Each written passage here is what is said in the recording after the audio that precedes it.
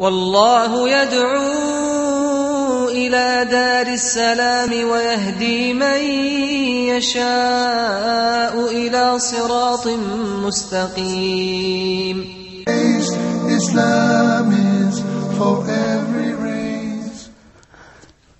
Assalamu alaikum and welcome to this episode of The Beauties of Islam. I'm your host, Yusuf Estes, and for the next little while I'd like to talk about one of the beauties of Islam that I found amazing. When I came into Islam, I had this misconception about something called equality. We constantly hear about people talking about equal rights and the equality of men and women, the equality of this and that and so on. But when we look to Islam, we find something amazing, something better than equality. I know you're probably thinking, wait a minute, what is he talking about? How can you have something better than equal? Well, the first thing to consider is this. A man and a woman are not really equal. They're different. If they weren't different, why would we have two separate names for these two groups? So obviously there's a difference. It doesn't mean one's better than the other one, it means they're different. So Islam is providing for us something better than equality. And that's what our program is going to be about today. We're going to talk about this beauty of Islam, this something better than equality. I want to call your attention to something that is well known and well established. For the most part, most men are larger, bigger, stronger physically than most women. Occasionally there'll be an exception to the rule, but it's known and established that that's the way it is. And since the time of Adam, peace be upon him, and until now, we find that even the expressions we use in our language describe that. We call the women the fairer sex. Meaning what? Obviously, we're showing that the women have something different than men. And how do we deal with that in Islam? And this is one of the beauties that really got me excited, and I began to understand something on a much deeper level. The word we want to use is not equality, it's equity. Equity means ownership in something or the value of something for you. And what is the value for you or I when we start to talk about this subject of men versus women? If you said, well, I want everything to be the same for the men as it is for the women, what would happen? A lot of people will tell you this is a good thing. They want the same pay structure for a man as they do for a woman. By the way, I don't have a problem with that. I think that's a great idea. Women, if they do the same job, need to have proper compensation, and there's no doubt. And as far as being treated properly, there's no doubt about that either. This is something Islam guarantees. But there are other things that you have to look beyond just a few basic needs or wants and see what's the total picture. The one who created us in the first place, we call him Allah, you might call him God. The point is, he's the creator and the sustainer of the universe. He, more than anyone else, should know what he created. And he should be the one responsible to tell us how to deal with his creation. We find, even in the remnants of what still exists from the old scriptures and manuscripts, reference to this subject. Unfortunately, we don't have the originals for those anymore. So occasionally people have got their own little hands in there and you can't exactly say this is from God and this is from man. What's inspired by God, what's inspired by man, and what's the inspired word of God to man, etc., etc.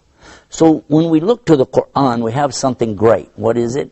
It is the exact words, the exact speech of Allah in His last and final revelation to mankind. Now, if you're not Muslim, or if you're talking to somebody that's not Muslim, they're going to say, well, I reject that immediately. I don't want to accept it. But stop and think. This is what the Muslims are talking about, so at least let's understand where they're coming from with this concept that they have. According to the Muslims, and according to Muhammad, peace be upon him, the speech from Allah is exactly today as it was when it first came to him in the beginning. And in that speech, Allah taught all of us how to deal with each other in many levels, in many ways. And above all, he says in his speech how much he hates and forbids oppression or the dhulm. So for sure we're going to see right away that whether you call it equity or equality, Allah is saying that He's against the thing that we're all against, which is what? oppression. Aggression and oppression, that which puts down or the wrongdoing. Okay, now, let's consider the condition of a woman. Is a woman really like a man? A woman can have a baby and a man can't.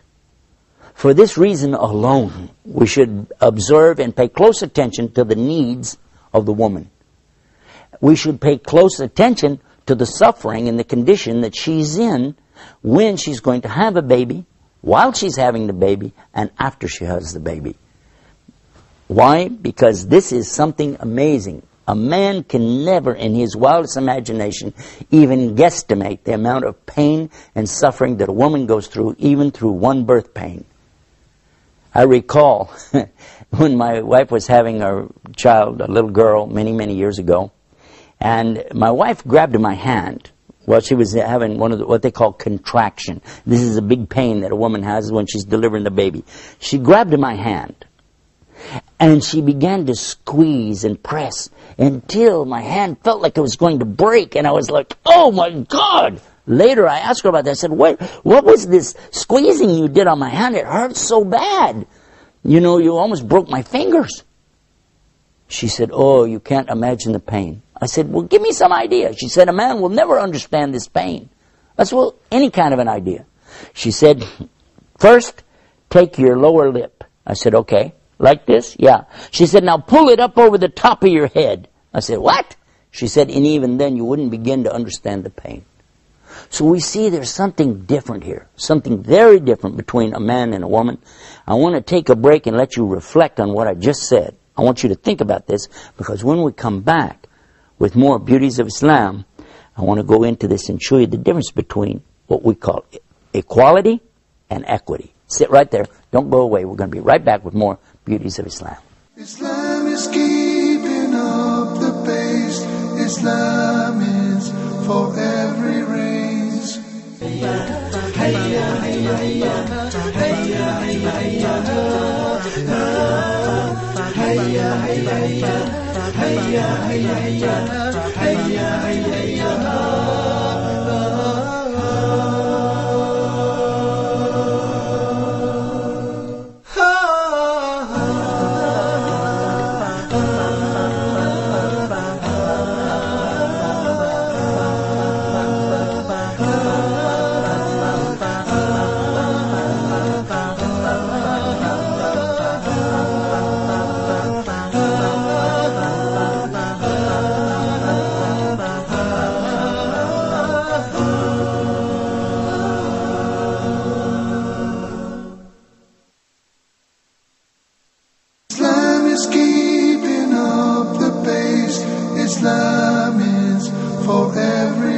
We're back. You're watching our program called Beauties of Islam. What we were talking about is the difference between something called equality and something called equity. And we've already discovered that a woman and a man are different. Now, anybody that studied biology knows that. But a funny thing happened one time. I was in India, and a doctor came to me and he said, I'm not a Muslim, and I like a lot of the things that I've read about Islam, especially when he talks about the miracles found in the Quran and the science that's there in Islam. 1400 years ago, people couldn't have known those things. Many things. The idea that God is one. And he's very sold on Islam. He said, except one thing. I said, what is that? He said, the way that Islam is treating a woman different than a man. I said, you're a doctor? He said, yes. I said, PhD or medical? He said, no, I'm a medical doctor. I said, and you don't know the difference between a man and a woman? And he started laughing, and we were kidding around, you know.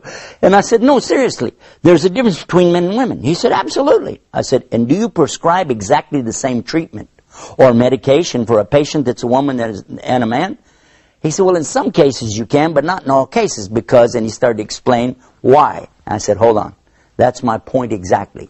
In some cases, you can see easily that the man and the woman are on equal footing.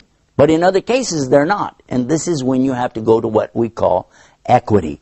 Meaning to give what's properly due for the individual or the group, which is not the same as for the other individuals or group. Let me explain. And I began to talk to him about the differences that Islam is offering for men and women.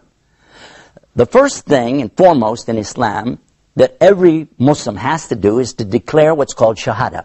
We say, Ashadu an la ilaha illallah, ashadu Muhammad Rasulullah. I bear witness in open testimony that there's no God or deity to worship except the real God. And I bear witness that Muhammad brought this message. And Muhammad, peace be upon him, is the messenger of God, and I'm going to do my best to follow him. This is the meaning. And this is the same for men and women. The same. There's no difference. Immediately after a person does this thing called shahada, the next thing they're responsible for is something called salawatul khams. Five times a day to establish their prayers. To stand, bow, prostrate, and sit, and do this repetition five times a day. This is a form of ibadah or worship in Islam. Yes? Yes. I said, now, every Muslim has to do this how many times a day? Five. How many days a week? Seven. How many days a month? 30.